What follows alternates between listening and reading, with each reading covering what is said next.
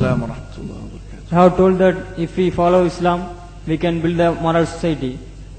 You see, we have 54 Islamic countries. Even we have 90, 95% Muslims over there. They follow Islam only. Why we can't build moral society in those countries?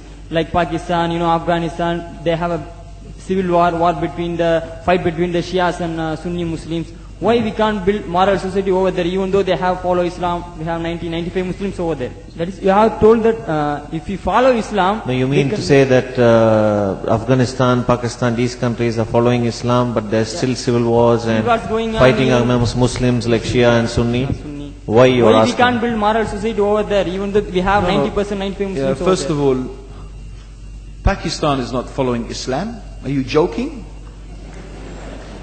I'm saying not pa- Pakistan, we have 90% Muslim. Muslim Huh? means follow Islam. But Muslim, what Muslim? What Muslim? I remember 15 years ago, 15 years ago, it's not today, and I heard it's worse. 15 years ago, I remember going to a wedding in Pakistan. A wedding where men and women were mixing freely.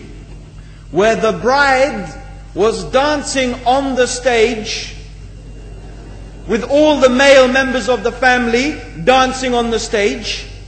I'm sure somewhere around, we probably hidden in a corner then, but I hear now it's open drinking alcohol. What Muslim are we talking about? This was 15 years ago. Now I hear it's even worse. Oh yes, their Islam.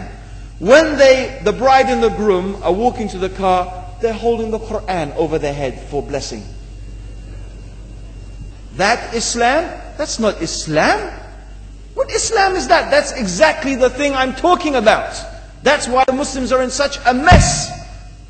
Because of this nonsense, this hypocrisy, this actually they are insulting the Quran by doing that. In, amongst all of this haram, they think that the Quran holding it over the head is going to bless them because they're holding it. What, what is that? Where did they get this from?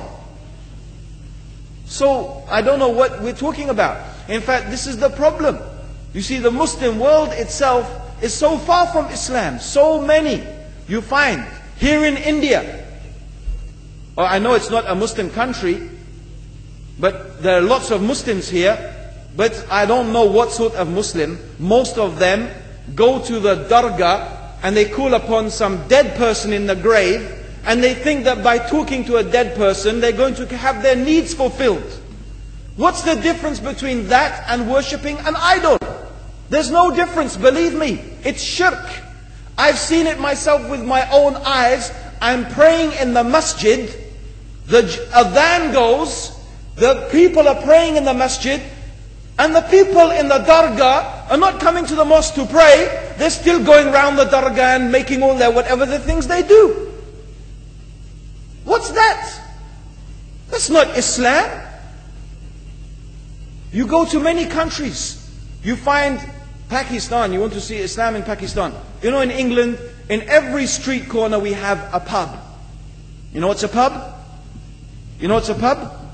Like a bar, you know, a place where you sit and drink alcohol. Yeah? Yes? In Pakistan, believe me, they have something worse than that. Yes, worse. On every street, they have a picture of a palm. Everywhere you see it, hanging from the windows. They have the picture of a palm. What's that advertising? Something worse than drinking alcohol. An invitation to disbelieve in Allah.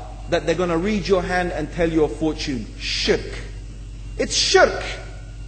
Whoever believe, the Prophet said, sallallahu alaihi wasallam, whoever visits a fortune teller out of curiosity, Allah will not accept their prayers for 40 days.